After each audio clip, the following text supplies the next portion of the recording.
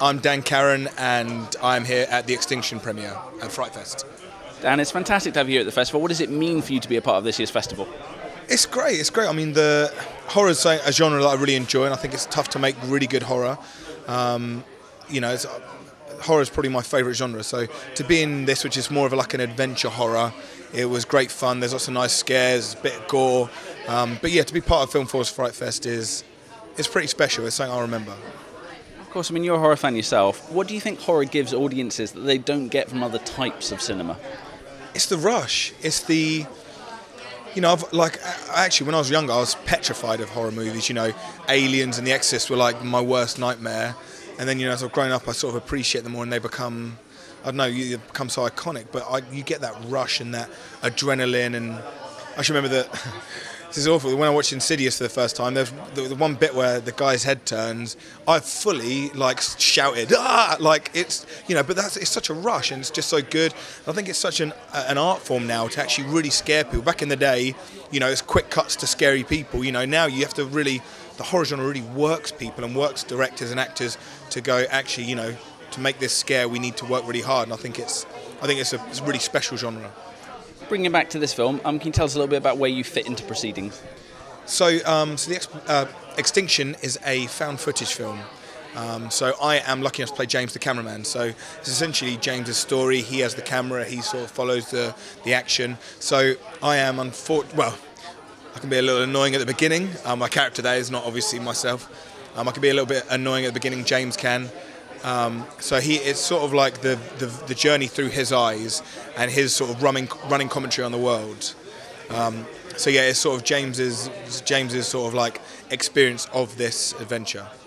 I mean, I'm curious because obviously you're in essence filming. Um, were you on set the whole time, or is it a case of you see the footage and then you're just providing the commentary sort of after the fact? So it, well, it's an interesting one because I was I was unsure about sort of where it would go. And when I turned up on the set on the first day, I, I mean, I knew what the director and the producer wanted, but I didn't know exactly how it would play out. Um, but actually, the way it worked was I was literally on the camera's man's shoulder. So Richard Osborne, who our, our DOP, who essentially played the real me, um, me and him were glued to each other for the whole shoot. Like literally, I was like flushed. I was on his back almost the whole time. So he became a very, a very, like an extended part of me, and I became a part of him. You know, there's certain times when I would move his body and he would sort of recoil back. So it became very, it's very organic and very sort of like we just push and pull between us. Um, we've got a great relationship, and to have the, to have someone to work with you that sort of like, because I'm sure he had a real specific idea of what he wanted. He was very open to when I sort of pushed his camera, like I might move his hand down or move his hand round or his body, and you know, it became very you know, it became it became very fluid, and we did become like one sort of person, you know, as we sort of moved. And I was always, you know, just on the right of his shoulder, so that you know there's an eye line for everyone to play against. So I literally was, yeah, I was on set from beginning to end, and I was on bang on it with him, and he was right there with me the whole time. It was great. I suppose I hope they I hope they enjoy it.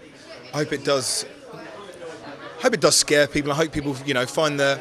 It's relentless. It's like it's like you sort of like you find yourself sort of tensing up a little bit, and I feel, I feel if you know we can do that to people, and people can you know feel tense throughout and come out and go, wow, you know, God, I, now I can relax. I think that's what I want. I want them to feel like they're on the journey, and I want them to feel annoyed and frustrated with you know James, my character, talking the whole way through. I want them to feel like they're on the journey with you, and I think that is the beauty of found footage that you can almost feel like it's you watching it. Um, you know, at the time, live through the camera, you know, and you're on the journey. So I want them to take away that you know they're a part of this experience.